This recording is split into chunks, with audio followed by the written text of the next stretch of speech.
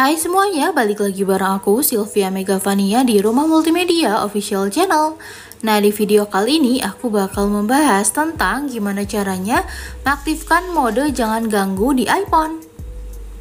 Nah, jadi kalau misalkan nih kalian lagi gak mau menerima notifikasi yang masuk ke iPhone kalian, kalian bisa menggunakan cara ini untuk mengaktifkan mode jangan ganggu di iPhone ya teman-teman.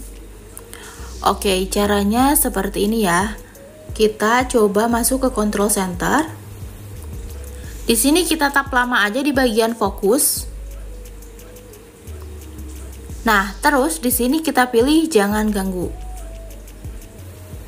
Di sini mode jangan ganggunya udah nyala ya teman-teman. Kita juga bisa tap di bagian opsi lainnya.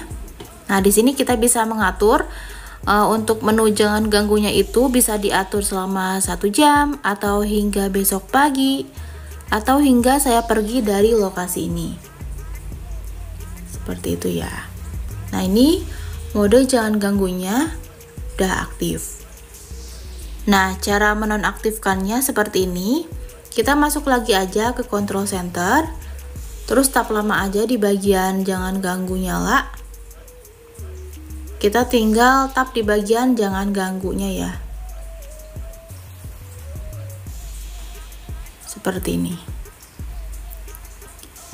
Ini udah nggak aktif ya teman-teman untuk mode jangan ganggunya. Oke beres, jadi gitu teman-teman gimana caranya mengaktifkan mode jangan ganggu di iPhone. Segitu dulu aja video tutorial kali ini. Jangan lupa buat subscribe channel Rumah Multimedia Official. Bye